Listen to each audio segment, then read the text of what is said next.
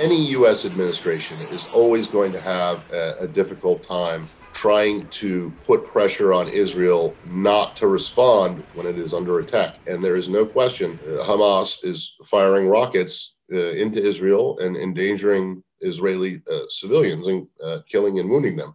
But there is also no question that Israel's response is killing civilians. And now we're seeing uh, Hezbollah in, in, in, Lebanon starting to fire uh, rockets into northern Israel from Lebanese territory as this situation has deteriorated, I think the uh, administration has come to the realization that it is going to have to take a more active uh, and more determined approach. And I think that, that that we saw that manifest itself in the phone call that President Biden had with Israeli Prime Minister Netanyahu earlier today, uh, when he said he expected an end to the violence and, and, and for Israel's military operation in Gaza against Hamas uh, should come to an end. Now, uh, presumably, that would also entail an end to the rocket fire from Gaza in, in, into Israel.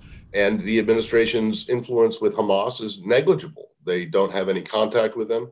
The Palestinians that they do have contact with don't have any influence with, with Hamas. So they really are, are forced to go through uh, Arab countries that, that, that can mediate, like uh, Egypt, uh, like Qatar, Help me understand the math. How many Palestinians have to die for their lives to matter? And it's not just the international community. Democratic members of Congress have really been voicing uh, their concerns, not only about the situation in the region, but about the administration's response to it and demanding that the president that they are supporting on tons of you know legislative uh, projects you know, do something more about the situation. So the, the administration is getting it from all sides here, and I think they're starting to respond slowly to the calls for greater uh, engagement, greater involvement.